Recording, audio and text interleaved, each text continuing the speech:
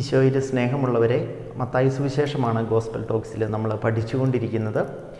നമ്മുടെ എല്ലാം ചെറുപ്പകാലങ്ങളിൽ നമ്മുടെ മാതാ മാതാപിതാക്കന്മാർ പലതവണ നമ്മളോട് പറഞ്ഞിട്ടുള്ള ഒരു കാര്യമാണ്. നിങ്ങൾ നന്നായിട്ട് കഷ്ടപ്പാട് അറിഞ്ഞ് വളരണം.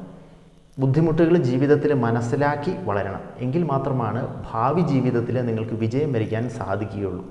തങ്ങളുടെ ചെറുപ്പകാലങ്ങളിൽ വളരെ കഷ്ടപ്പാടും ബുദ്ധിമുട്ടുകളൊക്കെ അനുഭവിച്ച് ജീവിച്ച് വലിയ ജീവിതത്തിൽ വലിയ നിലയിലെത്തിയ ധാരാളം മഹാരഥന്മാരുടെ ജീവചരിത്രങ്ങൾ നമ്മൾ സ്കൂളുകളിൽ പഠിച്ചിട്ടുണ്ട് ധാരാളം കേട്ടിട്ടുണ്ട്. അപ്പം ഇതിങ്ങനെ ചെ- ധാരാളം തവണ പല ഒരു ഇതിങ്ങനെ കേട്ടിട്ടുള്ളത് കൊണ്ട് നമുക്കതൊരു വലിയ ബോധ്യമായിട്ടൊന്നും നമുക്ക് തോന്നണമെന്നില്ല. ആ ഇതൊക്കെ ഞങ്ങൾ എത്ര കേട്ടിട്ടുണ്ട് എന്നാണ് നമ്മുടെ മനസ്സിലേക്ക് പലപ്പോഴും കടന്നു വരുന്നത്.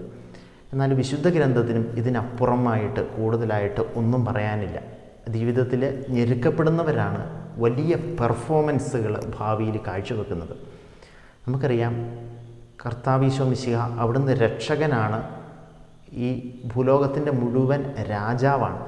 പക്ഷേ ഈശോയുടെ ജനനം പിന്നീട് ഈജിപ്തിലേക്കുള്ള പാലായനം അതൊക്കെ എത്രമാത്രം ഞെരുക്കത്തിലൂടെ കഷ്ടപ്പാടിലൂടെയൊക്കെയാണ് കടന്നു പോയിട്ടുള്ളത് എന്ന് വചനം ധ്യാനിക്കുമ്പോൾ നമുക്ക് മനസ്സിലാകും. എന്തുകൊണ്ടാണ് പിതാവായ ദൈവം അങ്ങനെ അനുവദിച്ചത്? തന്റെ പ്രിയപുത്രനെ ഈ ഭൂമിയിൽ ഞെരുക്കത്തിന്റെ ഒരു ബാല്യകാലത്തിലൂടെ ഈജിപ്തിലെ അജ്ഞാതവാസവും ആ യാത്ര കഷ്ടപ്പാട് ദുരിതം എന്തുകൊണ്ടാണ് ദൈവം അത് അനുവദിച്ചത് എന്നത് നമ്മൾ ചിന്തിക്കേണ്ട സംഗതി തന്നെയാണ്. പഴയ നിയമത്തിൽ നമുക്കറിയാം മോശ വളരെ ഞെരുക്കത്തിലൂടെ തന്റെ ബാല്യകാലം ചെലവഴിച്ച വ്യക്തിയാണ് മോസസ് എന്ന് പറയുന്നത്. അപ്പം നമുക്കറിയാം മോശ ജനിച്ച് ഏതാനും നാളുകൾക്കുള്ളിൽ തന്നെ മാതാപിതാക്കളാൽ ഉപേക്ഷിക്കപ്പെട്ടു. പിന്നീട് ഈ ഈ മോശയും മിതിയാനിലേക്ക് ഒരു പലായനം ഒരു ഒളിച്ചോട്ടം നടത്തുന്നുണ്ട്. ഫറവോയെ ഭയന്ന് മോശ മിതിയാനിലേക്ക് പലായനം ചെയ്യുന്നുണ്ട്. അതുപോലെയാണ് ഹെറോദേസ് രാജാവിനെ ഭയന്ന് ഈശോ ഈജിപ്തിലേക്ക് പലായനം ചെയ്യുകയാണ്. ഇസ്രായേൽ ജനം ദൈവത്തിന്റെ സ്വന്തം ജനമായ ഇസ്രായേൽ ജനം ഈജിപ്തിൽ വളരെ ഞെരുക്കത്തിന്റെ അവസ്ഥയിലൂടെ കടന്നു പോയിട്ടുള്ള ഒരു ജനതയാണ്. അവരെയാണ് പിന്നീട് ദൈവം വാഗ്ദത്ത ഭൂമിയിലേക്ക് വിളിക്കുന്നത്. അപ്പം തന്റെ പ്രിയപ്പെട്ട ജനത്തെ തന്റെ പ്രിയപ്പെട്ട മക്കളെ ഞെരുക്കത്തിന്റെ വേദനയുടെ കഷ്ടപ്പാടിന്റെ നാണക്കേടിന്റെയൊക്കെ അവസ്ഥയിലൂടെ ഒരുപക്ഷെ ദൈവം നയിച്ചേക്കാം. അതിലൊന്നും നമുക്ക് നിരാശ തോന്നേണ്ട കാര്യമില്ല. കാരണം ഇന്ന് വേദനയിലൂടെ കടന്നു പോകുന്നവരാണ് നാളെ വലിയ പെർഫോമൻസുകൾ കാഴ്ചവെക്കുന്നത്. അതാണ് വചനം നമ്മളെ പഠിപ്പിക്കുന്നത്. രണ്ടാമത്തെ ഒരു സംഗതി എന്ന് പറയുന്നത് ശിശു സഹദേന്മാരാണ് രക്തസാക്ഷികളായ ആ പിഞ്ച് പൈതങ്ങൾ. ഹെറോദേസ് രാജാവ് രണ്ടും അതിൽ താഴെയും പ്രായമുള്ള എല്ലാ ആൺകുഞ്ഞുങ്ങളെയും ഭടന്മാരെ അയച്ച് വധിക്കുകയാണ്. ഇതിൽ നമുക്ക് ചരിത്രം പഠിക്കുമ്പോൾ അത്ഭുതപ്പെടാനൊന്നുമില്ല. ഹെറോദേശ് രാജാവിന്റെ ക്രൂരകൃത്യങ്ങളെപ്പറ്റി ജോസെഫൂസ് എന്ന ചരിത്രകാരൻ വളരെ വ്യക്തമായിട്ട് രേഖപ്പെടുത്തി വെച്ചിട്ടുണ്ട്. അപ്പോൾ എന്തുകൊണ്ടാണ് അങ്ങനെയൊരു സംഭവം നടക്കാൻ ദൈവം ഇടയാകുന്നത്? അപ്പം ജീവിതത്തിലെ ചില വേദനകൾക്ക് നമുക്ക് ഉത്തരവില്ല ആലോചിച്ച് കഴിഞ്ഞാൽ. ദൈവം കാരുണ്യവാനാണ് നന്മ തന്നെയാണ് എന്നൊക്കെ നമ്മൾ പറയും. നമ്മളതാണ് നമ്മുടെ മനുഷ്യന്റെ പരിമിതമായ ബുദ്ധിക്ക് നമ്മൾ മനസ്സിലാക്കിയിട്ടുള്ളത്.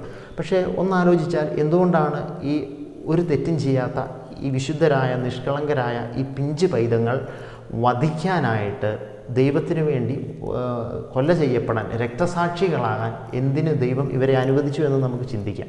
പക്ഷേ ചില ചോദ്യങ്ങൾക്ക് ഉത്തരമില്ല. പക്ഷേ നമുക്കറിയാം പിന്നീട് സഭ ഇവരെയാണ് ആദ്യത്തെ രക്തസാക്ഷികളായിട്ട് ശിശു സഹോദരന്മാരായിട്ട് പ്രഖ്യാപിക്കുകയും ഡിസംബർ ഇരുപത്തിയെട്ടിന് ഇവരുടെ തിരുനാൾ നമ്മൾ ആചരിക്കുകയും ഒക്കെ ചെയ്യുന്നുണ്ട്. അപ്പം അതുകൊണ്ട് ഇപ്പോഴത്തെ ഒരു വേദന ഭാവിയിൽ അത് മറ്റൊരു വലിയ നന്മയായിട്ട് തീരാം. ആ ശിശു സഹോദരന്മാരുടെ മധ്യയിലൂടെ മധ്യസ്ഥം പ്രാപിച്ച് എത്രയോ ജനങ്ങളാണ് അനുഗ്രഹം പ്രാപിച്ചിരിക്കുന്നത്. എത്രയോ വിശ്വാസ സമൂഹങ്ങളാണ് അനുഗ്രഹം പ്രാപിച്ചിരിക്കുന്നത്.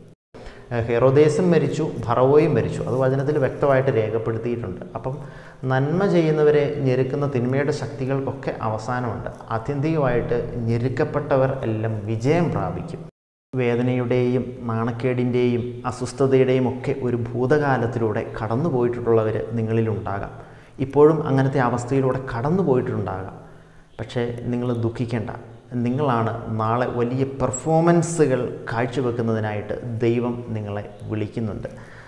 മോശയെയും തന്റെ പ്രിയപ്പെട്ട ജനമായ ഇസ്രായേലിനെയും എല്ലാം ദൈവം അഞ്ഞെരുക്കത്തിന്റെ നാളുകളിലൂടെ പലായനത്തിന്റെ ഒളിച്ചോടലിന്റെ എല്ലാം കാലഘട്ടത്തിലൂടെ കടത്തിവിട്ടിട്ടുണ്ട്.